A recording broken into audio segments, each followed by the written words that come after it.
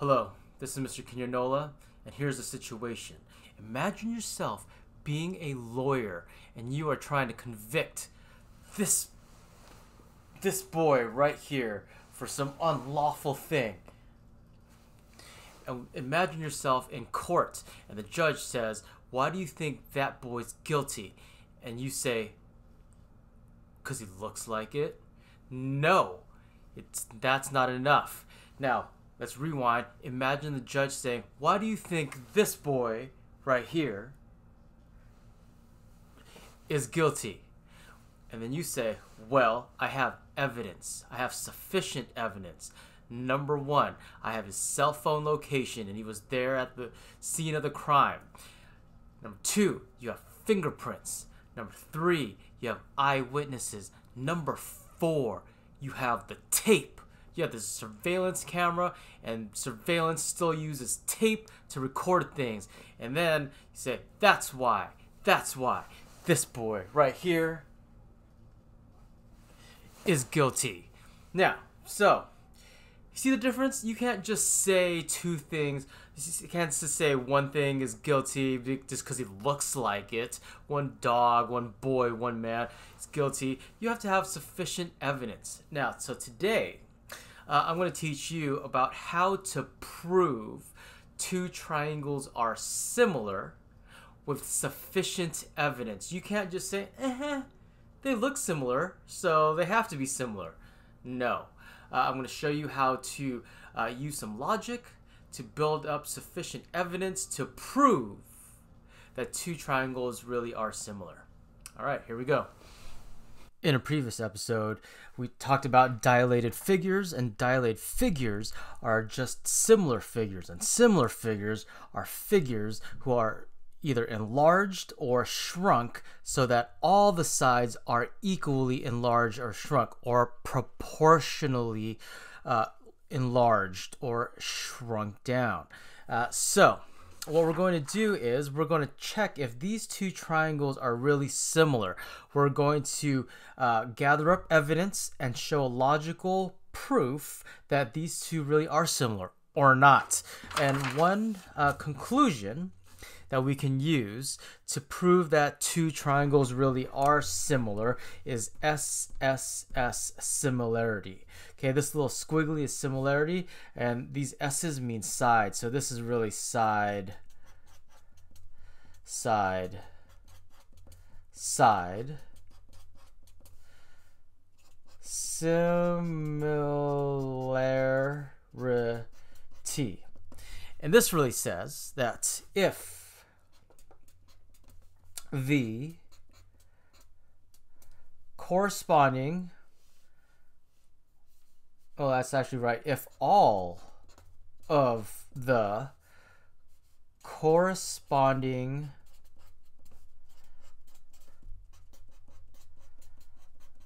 sides of two triangles are proportional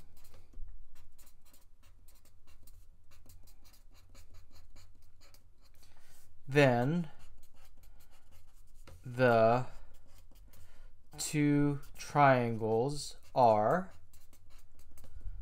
similar. So, in order to prove that two triangles are similar, we have to check if all of the corresponding sides of the two triangles are proportional.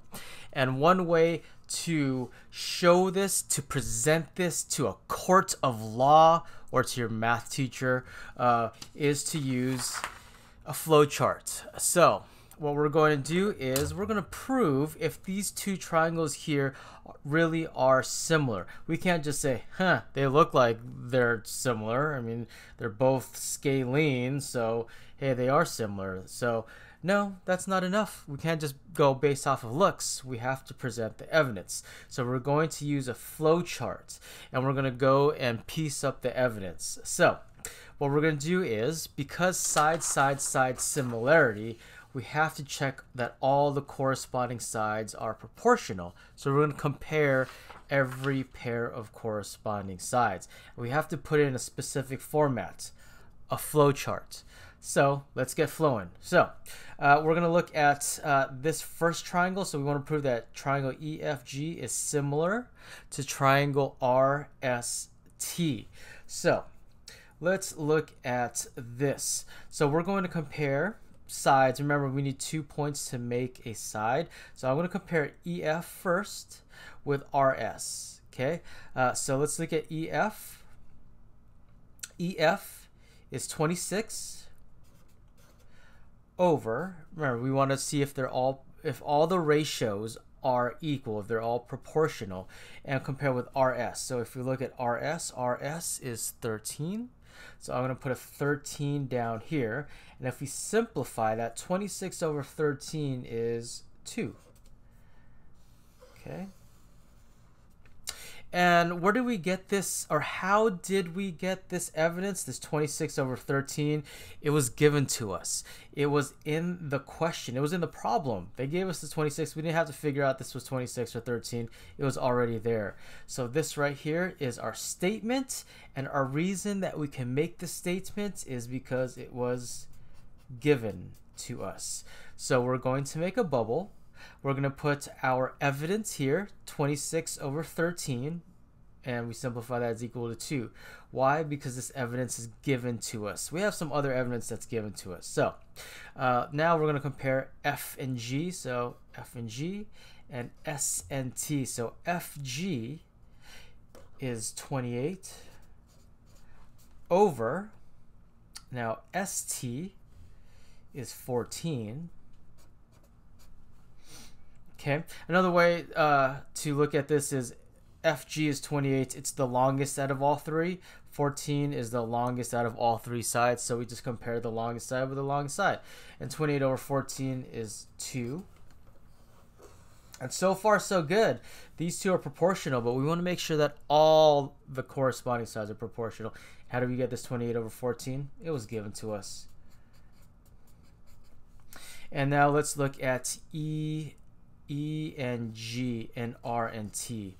EG is the shortest side and RT is the shortest side. So let's write 18 over 9 and 18 over 9 is 2 and look at that.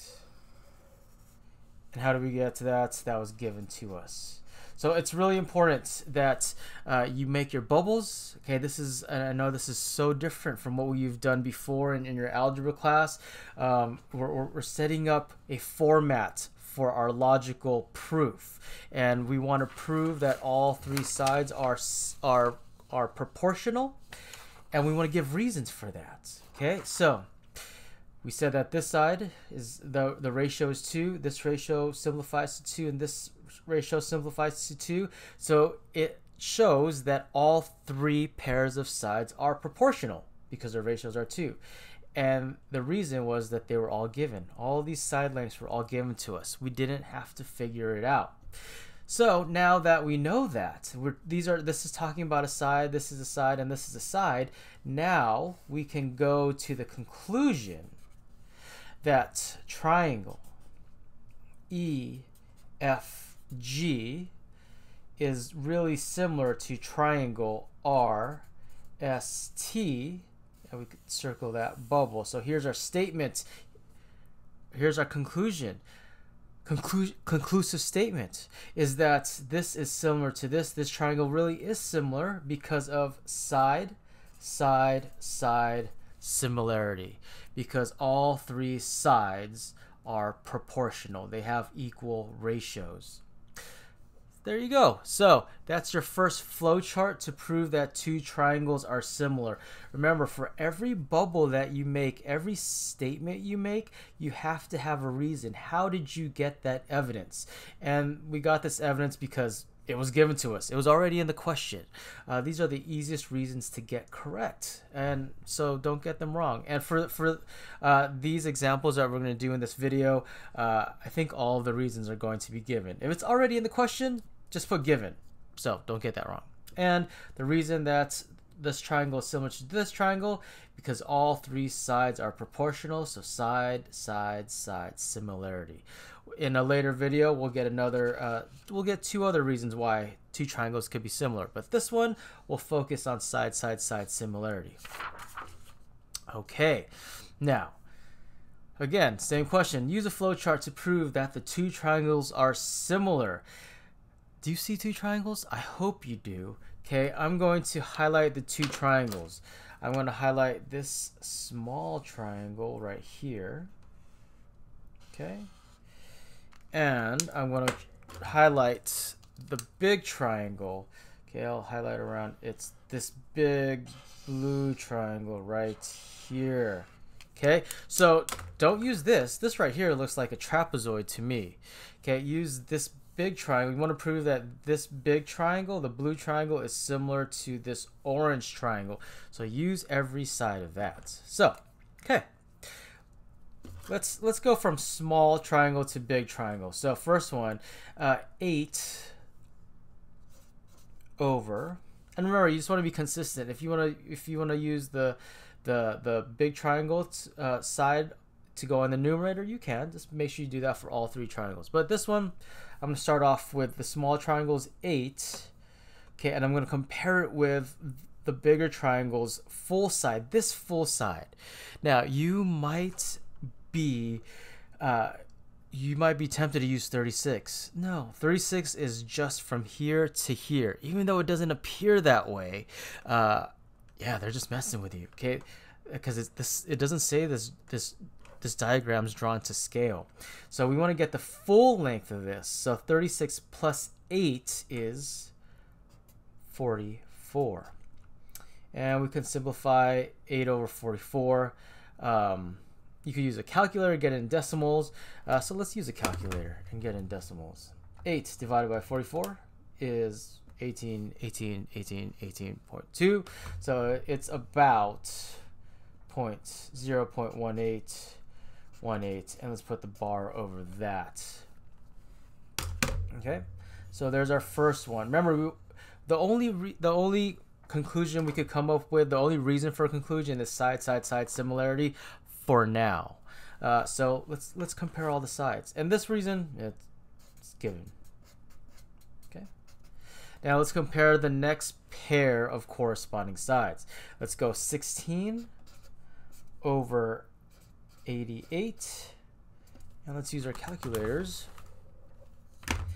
16 divided by 88, and I'm pretty sure that's equal because, yeah, 16 over 88 is just double this. So point zero point one eight one eight with a bar all over that. How did we get that 16 and 88? It was given to us, given. And there's no room on there, so I'll just make another circle down here. Now, what are we going to compare?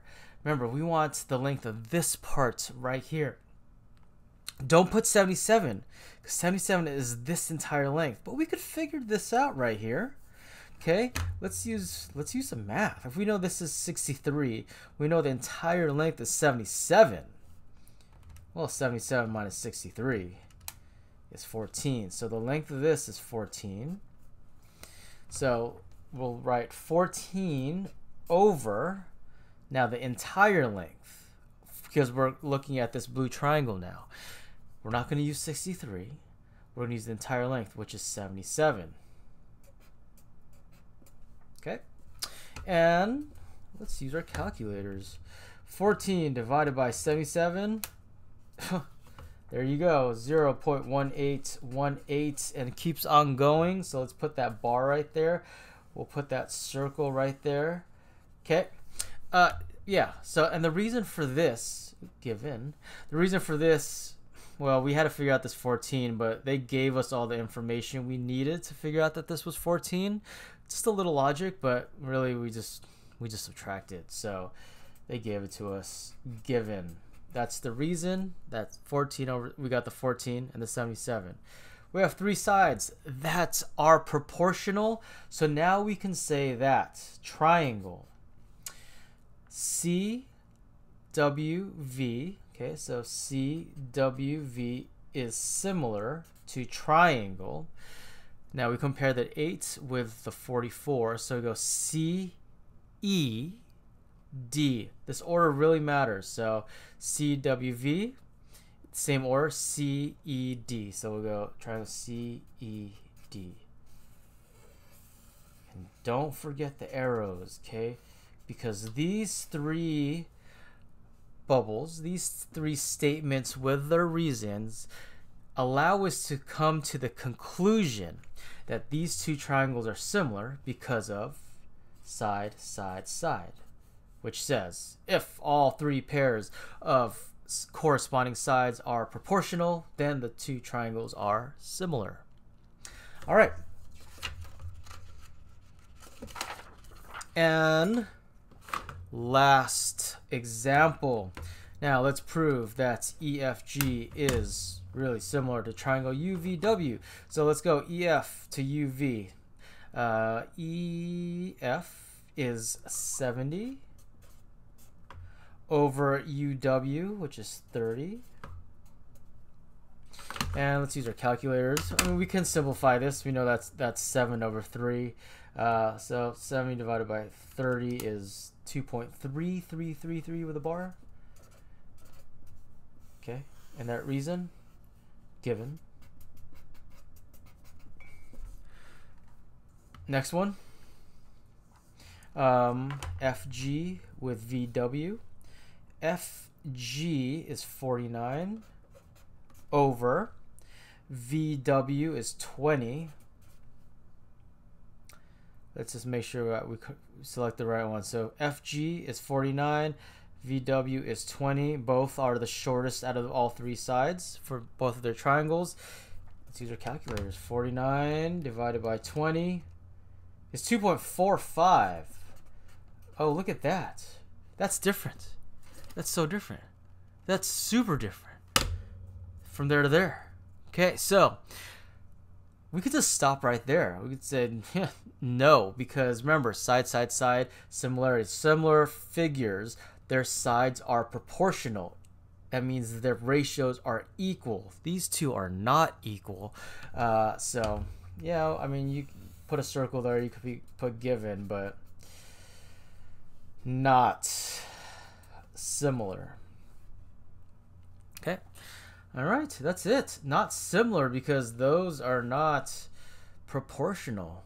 Okay, we, we could go on. We could compare the 91 over the 39. Let's just do that. So 91 divided by 39, 2.33. So two out of the three are proportional, but if we have to get all three sides are proportional. So if they're not, then not similar. So that's that's it right there. That's your final answer.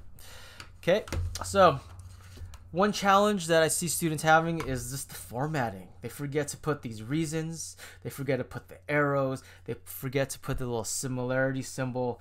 Make sure you put all of that. If you put SSS and without the similarity or some different symbol, um, it'll be wrong.